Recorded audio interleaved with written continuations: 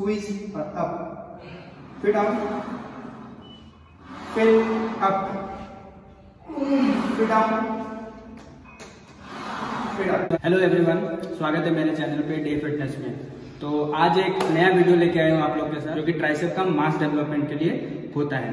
तो ज़्यादा समय वेस्ट ना करके आइए शुरू करते हैं. देखते हैं कैसा होना चाहिए पोजीशन तो पहले आप लोग को एक चीज़ अपने शोल्डर के हिसाब से अपने हाथ को उसके लेवल पे रखना है। ठीक है पहले ऐसे समझ में नहीं आएगा, मैं आपको बार के हिसाब से समझा देता हूँ। तो मेरा शोल्डर का लेंथ यहाँ से इस यहाँ पे आ रहा है। तो इसका मतलब मुझे इससे थोड़ा सा अंदर लेना है। यहाँ पे। सेम ये मेज़रमेंट ऐसे आप ले सकते हैं। फिर इसे थोड़ा सा बाहर फिर थमलेस थम को ऐसे नहीं रखना है। थम को ऐसे रखना है और अपने पाम पे पूरा वेट को ले लीजिए। और अपने हाइस को पूरा टाइट कर लीजिए, ताकि आपको क्लोज ग्रिप में थोड़ा सा वेट आपको ज़्यादा लेना पड़ता है, ताकि आपके मसल फाइबर एक्टिवेट हो जाए। ठीक है? आइए देखते हैं। तो ये हो गया, मैंने मेज़रमेंट ले लिया, इससे थोड़ा सा अंदर हमने स्लिप मैंने ले लिया। ओके? हाइस को मैंने लॉक कर दिया चेस्ट को भी लॉक कर दिया और इसको लिफ्ट कर दिया। अभी पोजिशन क्या होगा? आपको अपने एल्बोज को बाहर की तरफ़ लाइन करना है, थोड़ा सा। ये देखें, बाहर की तरफ़ जा रहा है। ये हो गया पूरा।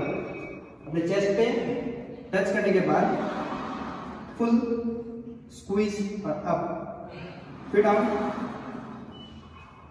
फिर अप फिर डाउन फिर अप तो आप देख सकते हैं कि मेरा एल्बो जो है, वो ऐसे नहीं जाना ठीक है? आपको थोड़ा इस तरफ़ इस तरफ़, ऐसे। फिर यहाँ से फुल अप। फिर यहाँ से फुल अप। ऐसे कभी मत कीजिएगा, ये वाला कभी मत करिएगा ऐसे। एल्बो आपका, पहला बात आपका एल्बो पेन होने लगेगा। दूसरा आपको इंजरी बहुत जल्दी होगा। तो ये आप स्मिथ मशीन में भी कर सकते हैं। और जबकि ये लॉन्ग लेग को टारगेट करता है आपका यहाँ। और जब आप इसको करेंगे तो आपका ये ऐसे स्लांटिंग में आना चाहिए। ना कि ये पूरा आपका जो लेटिस है लेटिस के साथ खिसके नहीं आना चाहिए। कोई कोई वीडियो में देखा देखा जाता है या कोई लोग भी जिम में बोल देते हैं कि इसको लेटिस के साथ साथ लेके आओ, लेकिन नहीं। लेटिस से थोड़ा बाहर, जैसे आप चेस्ट करते हो वैसे सिर्फ़ एंगल आपका हाथ यहाँ से शोल्डर से थोड़ा अंदर होना चाहिए। एकदम भी अंदर मत कीजिए, ज़ोर नहीं आ पाएगा। थोड़ा सा जैसे मैंने अभी आपको दिखाया डिटेल्स में कैसे आपको मेज़रमेंट लेना है, उसी मेज़रमेंट को लेते हुए आपको करना है। और जितना आपसे जा सके, मैं इससे भी ज़्यादा वेट कर सकता हूँ, लेकिन कोई फ़ायदा नहीं है। मसल एक्टिवेशन के लिए आपको वेट्स की ज़रूरत नहीं, आपको टारगेटेड मसल को कैसे टारगेट करना है, उसके लिए आपको ध्यान देना है। आपका मूवमेंट क्या होना चाहिए उसमें। और जब भी आप नीचे आओ, इस तरीके से, आपको इस तरीके से भी नहीं आना है।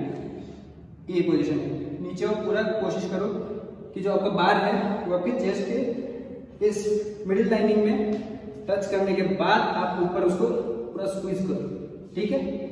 तो यही छोटा सा है। आप लोगों को बता देता हूँ, किसी भी बड़े बॉडी बिल्डर को देख के उसको कॉपी करने की कोशिश मत करो, क्योंकि उससे फ़ायदा होने नहीं वाला। वो लोग कोई भी एक्सरसाइज करेंगे, उनका माइंड में इतना अच्छा होता है कनेक्शन कि कैसे भी वो लोग कर ले, उन लोग को अचीवमेंट मिल जाता है या टारगेटेड मेथड को वो लोग हिट कर सकते हैं। लेकिन आप कॉपी करने जाओगे तो आप नहीं सकोगे अपने जिस जिम में आप लोग कर रहे हो, अपने इंस्ट्रक्टर से पूछो, क्योंकि जो एक्सपीरियंस या तो वहाँ पे जो एक्सपीरियंस आदमी होगा, उनसे पूछिए।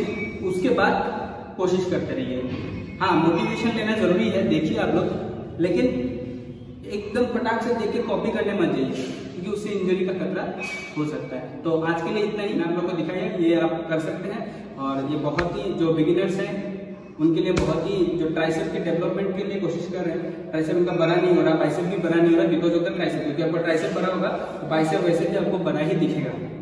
तो आज के लिए इतना ही थैंक यू और कीप वॉचिंग